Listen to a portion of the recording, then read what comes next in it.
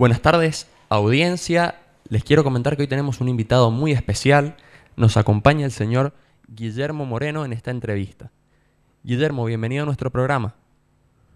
¿Qué tal? ¿Cómo estás? Un placer hablar contigo, ¿eh? como siempre. Eh, y quiero comentarle, Guillermo, que la idea central del día de hoy es hablar un poco sobre geopolítica y sobre el final de la entrevista, de ser posible, hablar un poco de política interna. Ok, cómo no. Tenemos 15, 20 minutos para desarrollar, así que usted gradúa el tiempo. La primera pregunta que le quiero realizar, Guillermo, es si usted considera que esta serie de conflictos que se están dando a nivel internacional tienen algún denominador en común o son hechos aislados e independientes entre sí. A ver, el Papa, desde que asumió, eh, esto es el 2013, viene hablando de la Tercera Guerra Mundial en cuotas. Por lo tanto, el que manifestó que todos estos temas están articulados entre sí es su santidad, que obviamente tiene un nivel de información y de análisis superior al que podemos tener el, común de los mortales. Y esto lo manifestó ni bien inició su pontificado y de alguna manera fue guiando su accionar a nivel internacional. Primero impidió que el gobierno de Obama lanzara un bombardeo masivo sobre Siria, como lo había hecho Clinton sobre la vieja Yugoslavia, eh, convocando a la humanidad a un rezo masivo. Y de ahí en adelante se involucró en todos los hechos de violencia, donde él tenía claro que son los lamentables eh, actos de partera del nuevo orden internacional y él tiene que minimizarlos. Es muy difícil que lo viejo muere y lo nuevo nazca sin hechos de violencia. La historia lo demuestra. Estamos hablando en términos geopolíticos. Él se propuso en su pontificado minimizar las muertes, que es lo que le corresponde al guía espiritual de la humanidad. Y bueno, de alguna manera lo está consiguiendo, si no esto sería mucho, muchísimo más violento. Lo que sí es cierto que están articulados por esto que estamos diciendo. Se está construyendo una nueva hegemonía a escala global, fundamentalmente un mundo que va a estar ordenado detrás de la Federación Rusa, detrás de Estados Unidos, y esperemos los pueblos que no tenemos voz a través de la voz de Francisco, y el viejo mundo de la globalización, que, es el que todavía no termina de morir, pero que obviamente se está terminando. Guillermo, usted que acaba de mencionar a la Federación Rusa, ¿quién es ideológicamente Vladimir Putin, el líder de Rusia? Bueno, me parece que sería muy pretencioso. Creo que es un pensar que uno lo puede calificar de esa manera. Eh, me parece que es un nacionalista con profundos valores religiosos, un hombre de la ortodoxia, de la Iglesia Ortodoxa Rusa, eh, bautizado, por cierto, eh, y que me parece que está volviendo a poner a Rusia en el concierto de las naciones, en una alianza de orden uno que trazó con Trump, que va mucho más allá de una amistad personal, que es lo que quieren interpretar esto. Me parece que entre los dos terminaron con la globalización, especialmente Trump, ¿no? Entonces usted básicamente podríamos decir que considera que hay una puja a nivel internacional entre líderes globalistas y líderes nacionalistas. Claro, el viejo globalismo expresado en este caso por Macron y algún otro primer ministro, presidente de alguna potencia de, esas de esas características, y entre las cuales está Xi ¿no? Y eh, este nuevo orden internacional que va a tener un viejo, el viejo ganador de, de la globalización que era Estados Unidos, pero que era un régimen que ya no lo beneficiara, estaba perdiendo su presencia manufacturera. Los dos grandes ganadores, y bien debajo de Estados Unidos la globalización, que eran Alemania y China, van a ser los nuevos perdedores, viejos ganadores, nuevos perdedores de nuevo este orden y la emergencia de la Federación Rusa como un actor sustantivo en el concierto de naciones. que Bien. se expresa también en el conflicto de Medio Oriente, esto está muy claro. ¿no? Bien, perfecto. Le quería preguntar, Guillermo, eh, ¿qué objetivo está persiguiendo Rusia en esta intervención en Ucrania? Mire, es un tema de la reconstrucción de lo que ellos llaman la madre rusa eh, y un tema de defensa nacional sobre ciertas armas convencionales. Está claro que sobre las armas estratégicas, 100 kilómetros más, 100 kilómetros menos no hace la diferencia. Pero en las guerras convencionales hace cierta diferencia definieron su línea de, seguridad y sobre eso avanzaron.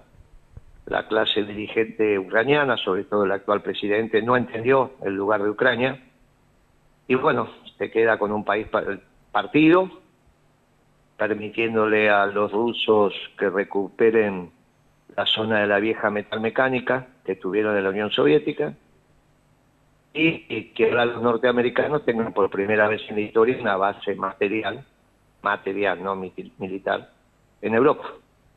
De acá algunos años, ese, esa Ucrania occidental, para llamarla de alguna manera, bajo el protectorado norteamericano o la forma jurídica que encuentren, va a ser una, una explosión de crecimiento, de eso no tenga duda. Bien, una pregunta que le quiero realizar también es sobre África. En el continente africano se están dando una serie de golpes de Estado y parece ser que los países africanos se están alejando de la órbita europea. ¿Cómo le va a afectar esto a las economías europeas? Bueno, a la economía alemana ya le afectó el tema de la energía fósil. Por eso está en recesión, ya nadie habla de la locomotora alemana. Eh, en el caso de Francia, tiene cerca de 80 centrales nucleares, tema del uranio es central. Por eso, donde se están dando los golpes, eran países vinculados a, lo, a la vieja Francia, a la Francia imperial. Eh, ahí tuvo también una participación la estructura paramilitar de, de esos que se denominó la organización Wagner, ¿no? Eh, incluso hay sospechas si el avión fue vulnerado o no por algún misil francés. Los franceses, ahora salió hace poco que un, viejo primer ministro italiano le había dicho a Gaddafi no tome tal avión que se lo van a lo van a tratar de derribar los franceses y el misil que dispararon le pegó a un a un avión de pasajeros que, que se cayó en el Mediterráneo. Los franceses son bravos en su política exterior. ¿eh? Eh, es una extensión del servicio exterior francés. Em- nuestras empresas acá, más de, más de una, pero sobre todo una de tecnología que compitió con los franceses en Australia, puede dar cuenta de eso, ¿no? Cómo aparecían Greenpeace este, trabajando en los países donde tu empresa tiene la base, generando hechos ecológicos para que te retiraras de la licitación. Durante la época de Menem eso fue bien contundente, llevaron inodoros al Congreso, hicieron un montón de cosas. ¿eh? Eh, los franceses son bravos, así como uno, igualdad, libertad y no sé cuántas cosas más, fraternidad, la verdad que su experiencia en el mundo internacional lejos está de ahí. Digamos que los franceses son típicos, de, a diferencia de los norteamericanos, ¿eh? de poner los huevos en un lado y el, el grito en otro. Una última pregunta antes de pasar un poco a lo que es la política interna. Eh, ¿Qué situación ve en Medio Oriente, sobre todo con el fortalecimiento del antiguo imperio persa actual Irán? Mire, está claro que estamos asistiendo a... Se había penetrado la Federación Rusa en Medio Oriente con mucha presencia a través de Siria, cuando permitió que el ISIS no se apoderara de ese país. Eh, el que lo impidió fue una alianza turca-rusa, donde fundamentalmente fueron los rusos. Y también algo de los iraníes, algo de los iraníes. Eso terminó con el ISIS.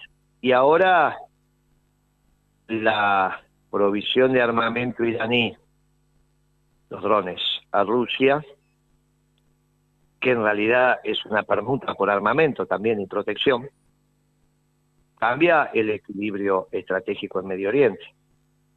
Porque Persia, oigan, vuelve a ser Occidente, como lo es también Arabia Saudita y como naturalmente lo es Israel.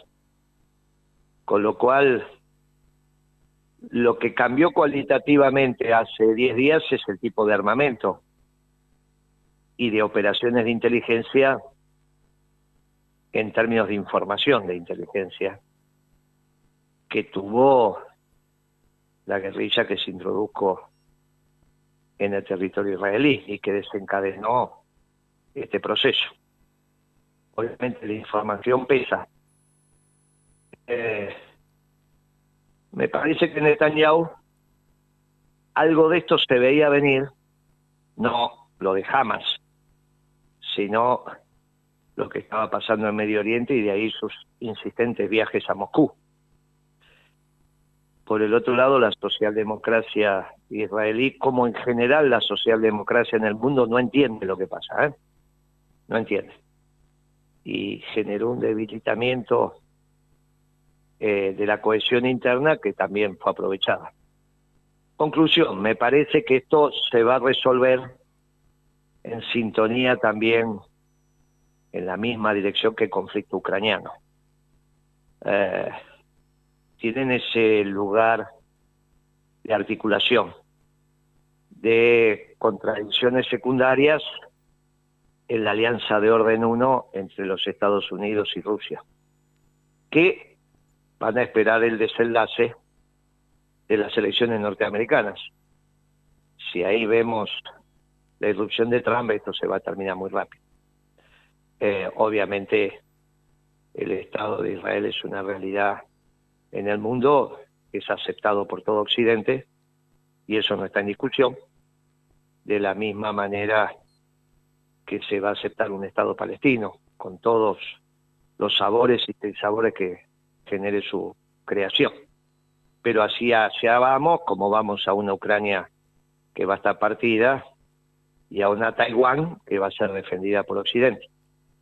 De esto no hay ninguna duda. Hay una presencia de Corea del Norte porque también está prestando su su su comercialización de armamento a la Federación Rusa y la contracara de eso también va a ser el acceder a ciertas tecnologías que los rusos dominan y, los coreanos del norte no.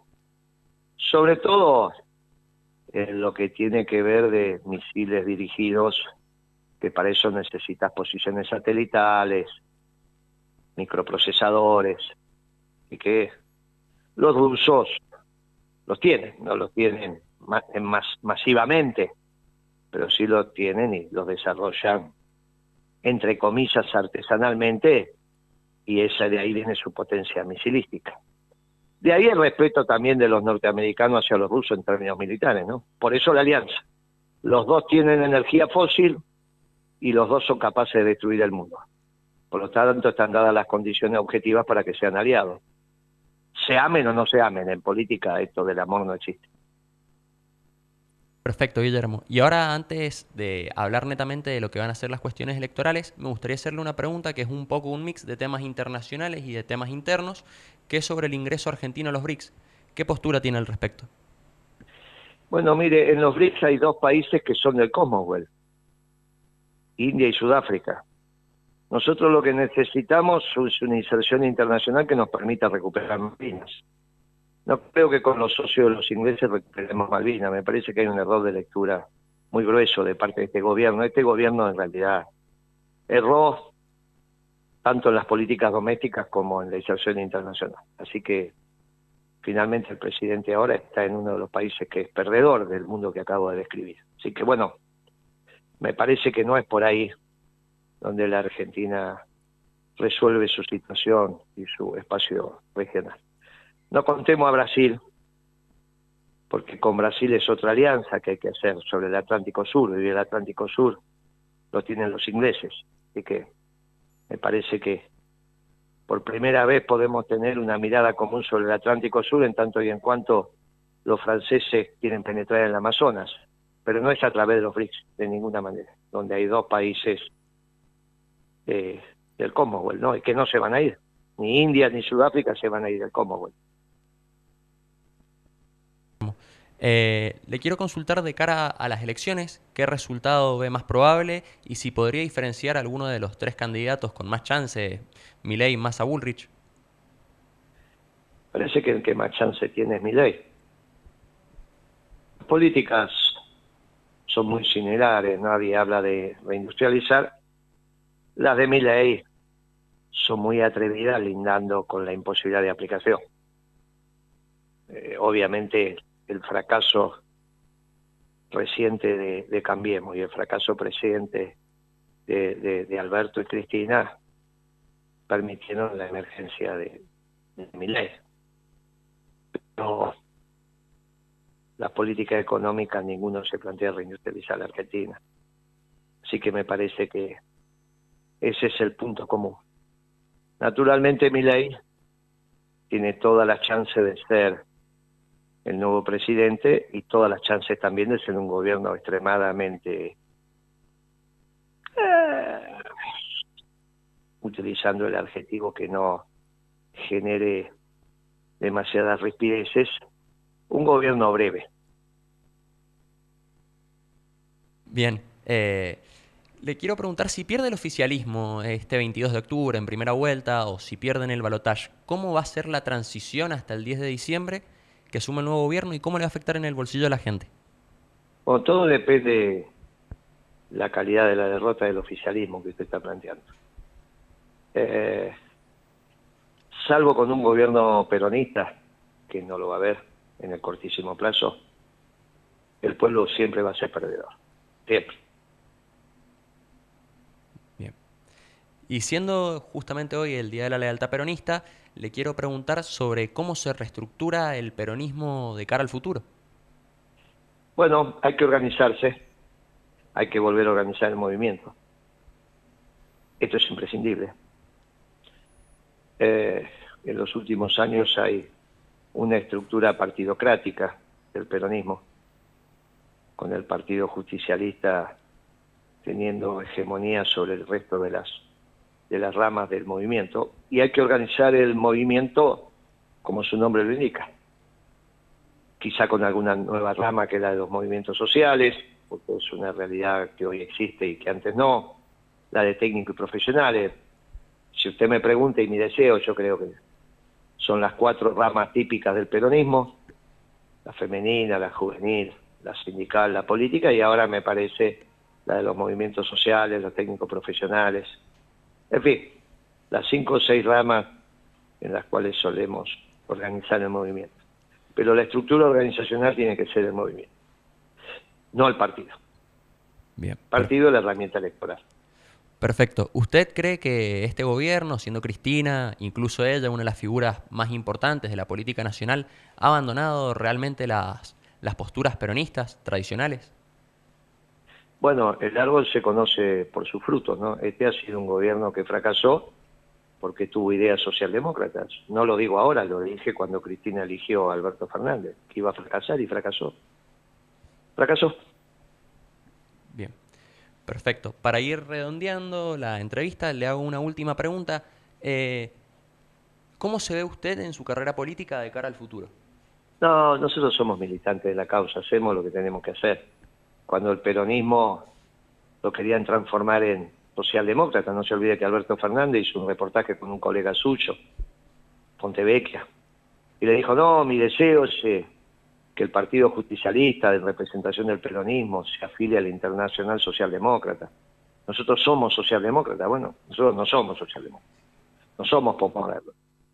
Somos hombres y mujeres de principios y valores, así que de ninguna manera podemos ser postmodernos. Así que esa misión está cumplida. Hoy todo el mundo habla del peronismo. Ellos querían terminar con el peronismo y no pudieron. hablaban del tercer movimiento histórico, ahora nadie habla más del tercer movimiento histórico. Hablaban de unidad ciudadana, de esto, todo eso. Bueno, nadie habla más de eso. Bueno, muy bien. En ese aspecto, misión cumplida. Ahora hay que reorganizar el movimiento y uno es un militante más.